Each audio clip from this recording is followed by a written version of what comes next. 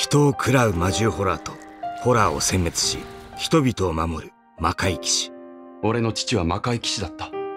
父は旅立つ時俺に言葉を残した。必ず戻る。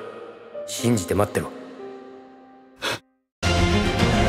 お客さん切符は？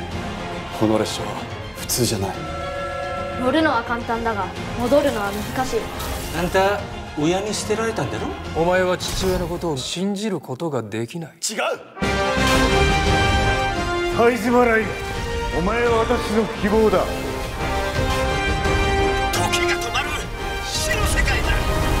今試される真の強さと受け継ぎし絆。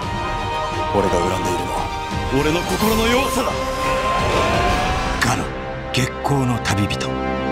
たくましくなったなライガ